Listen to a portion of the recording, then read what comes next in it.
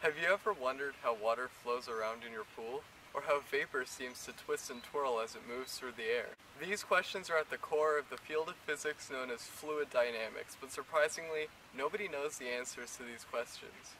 The Navier-Stokes equations are a set of equations that describe fluid motion, but a proof for the existence of solutions to the equations currently does not exist. If this is such a fundamental concept, why can't we solve the equations? Well, it's because of turbulence, a phenomenon that occurs when fluids move in violent, unpredictable ways. Yes, the same turbulence that causes your plane to rumble mid-air also causes water to form rings when impacted. Essentially, fluids flow unpredictably and chaotically, which makes finding solutions extremely difficult. However, if someone does prove solutions to the equations, there is a $1 million prize offered by the Clay Math Institute. This problem was designated as a Millennium Problem, a set of seven of the most important questions in mathematics. So if you solve it, you could win a million dollars, but more importantly, you'd be making an enormous contribution to science. This is the Navier-Stokes equation. Well, there are multiple, but this is a simplified version. Even this compact version looks complicated, so let's go through each part. If you notice, this equation is derived from Newton's second law.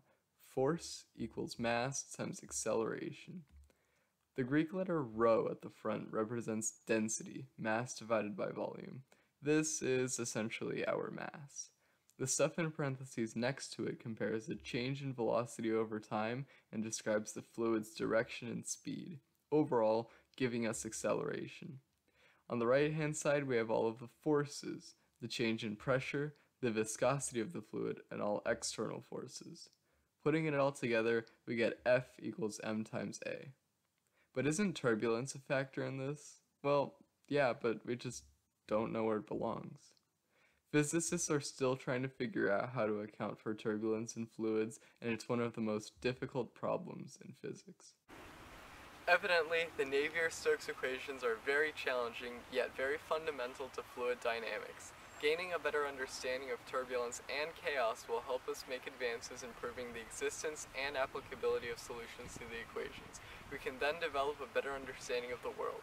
So, would you like to make the next breakthrough in science?